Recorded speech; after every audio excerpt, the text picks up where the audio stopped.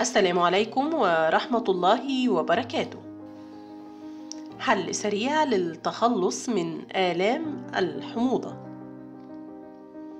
علاج الحموضة مضادات الحموضة تعادل مضادات الحموضة حموضة المعدة بسبب احتواء هذه المضادات على كربونات الكالسيوم والمغنيسيوم وتتميز هذه الأدوية بمفعولها الفوري الذي يستمر لثلاث ساعات وتتوفر هذه المضادات على شكل أقراص أو شراب ومن الجدير بالذكر أن هذه المضادات يمكن أن تسبب الإصابة بالإسهال أو الإمساك ويمكن التقليل من حدوث هذه المضاعفات عن طريق استخدام مضادات حموضة تحتوي على الألمنيوم إلى جانب كربونات الكالسيوم والمغنيسيوم.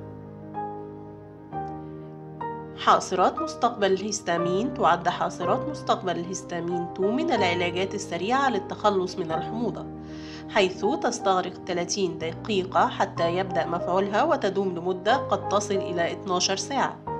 ويعتمد مبدأ عمل هذا العلاج على تقليل كمية الأحماض التي تفرزها المعدة ويعد الوقت قبل الطعام أو عند النوم أفضل وقت لتناول هذه العلاجات.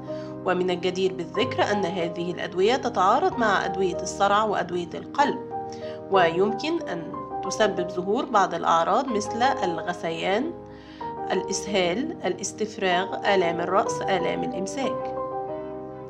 العلاجات المنزلية.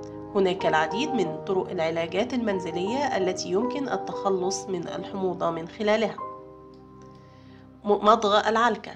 حيث أن مضغ العلكة يحفز إفراز اللعاب في الفم حيث يساهم ذلك في التخفيف أو إزالة أحماض المعدة الموجودة بالمريء.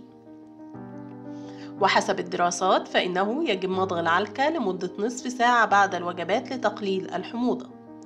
الوقوف مستقيما يخفف الوقوف بالوضعية المستقيمة من ضغط أحماض المعدة على الصمام بين المريء والمعدة بينما يزيد الجلوس أو الاستلقاء من الشعور بالحموضة.